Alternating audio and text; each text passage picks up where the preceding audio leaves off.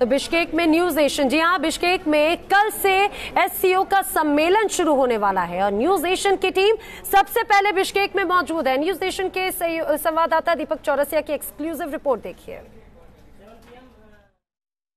इस वक्त मैं किर्गिस्तान की संसद के सामने खड़ा हूँ। मेरे पीछे एक किर्गिस्तान की संसद है और साथ ही साथ आपको दिखाई दे रहा है लेनिन स्क्वायर।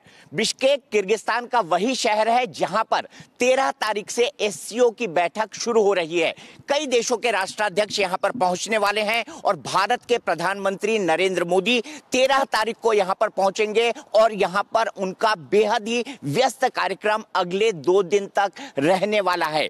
चूँकि एससीओ की बैठक हो रही है, इसलिए पहली बार एक अंतर्राष्ट्रीय मंच पर प्रधानमंत्री नरेंद्र मोदी के दूसरी बार प्रचंड बहुमत से जीतने के बाद भारत और पाकिस्तान आमने सामने होंगे। पहला अंतर्राष्ट्रीय मंच होगा, जिस पर भारत और पाकिस्तान दोनों आमने सामने हैं। हालाँकि भारत यह साफ़ कर चुका है कि इमरान खान से किसी भी तरह की द्विपक्षीय बातचीत बिश्केक के अंदर नहीं होगी, लेकिन कूटनीति को संकेतों और संदेशों का खेल कहा जाता है। इसीलिए इस मंच पर दोनों जो कुछ करेंगे, उस पर पूरी दुनिया की निगाह लगी होगी। इसके अलावा बेहद महत्वपूर्ण दो और बैठकें होने वाली हैं, जिसके अंदर भारत के प्रधानमंत्री नरेंद्र मोदी, चीन के राष्ट्रपति शी जिनपिंग से मिलेंगे और साथ ही साथ रूस के राष्ट्रपति व्लादिमीर पुतिन से मिलेंगे। ये कहा जा रहा है कि एस की इस बैठक के दौरान आतंक के मुद्दे पर भी बात हो सकती है और चीन, मसूद अजहर पर चीन के नए रुख के बाद, अब जब मसूद अजहर पर बैन लग चुका है।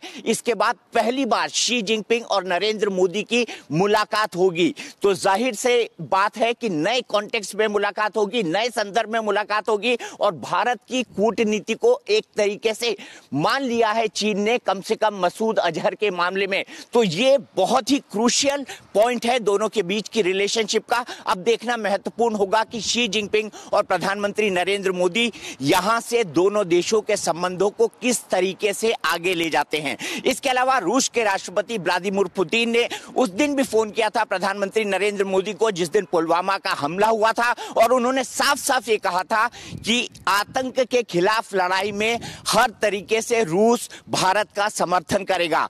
रूस भारत का सबसे पुराना दोस्त है, सबसे नजदीकी मित्र है, इसीलिए प्रधानमंत्री नरेंद्र मोदी और रूस के राष्ट्रपति व्लादिमिर पुतिन के बीच के रिश्ते बेहद ही व्यक्तिगत हैं।